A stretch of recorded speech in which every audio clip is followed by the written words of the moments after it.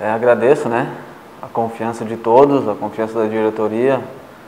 A expectativa é muito boa, né? O Campinense é, uma, é o clube, né? Uma camisa muito pesada aqui no Nordeste. É campeão, é máximo. E a expectativa é muito boa. Sei que essa série D já joguei uma vez, é uma série muito difícil. Mas é, a gente tem tudo para buscar esse acesso aí. Com, e eu vim para somar junto com meus companheiros é, e todos buscar esse tão sonhado, tão sonhado acesso. Não só pela gente, mas como pelo torcedor, né? Que já faz um bom tempo e se Deus quiser a gente vai conseguir. Bom, eu sou um meia muito ofensivo, né? Sou um meia, minha característica é velocidade, é, buscar sempre o gol e eu sou muito bom time na bola parada também. Eu acho que eu tenho um bom passe e finalizo muito bem. E, e eu quero ajudar ao máximo para que essas minhas características possam aparecer dentro de campo para que a gente consiga nosso objetivo e as vitórias.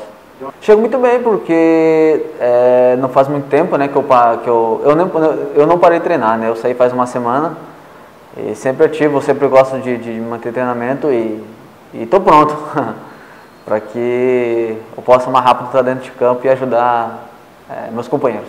É, os torcedores podem ter certeza, apesar de eu ser um meia de ofensivo, de criação, mas é, eu sou um cara que tem muita raça dentro de campo, que não desiste muito, que que vai lutar, que vai brigar, se for preciso é, é, é, dar carrinho, vou dar carrinho. E, mas com certeza, é, pode esperar as melhores expectativas porque eu vou dar mais de 100% dentro de campo. É, quando eu cheguei no ABC, o Ranieri estava saindo, né? Ainda não trabalhei com o professor, mas pô, pelo que falam, é um excelente treinador, inteligente e tenho certeza que vou me adaptar o mais rápido possível e ele vai tirar o meu melhor futebol.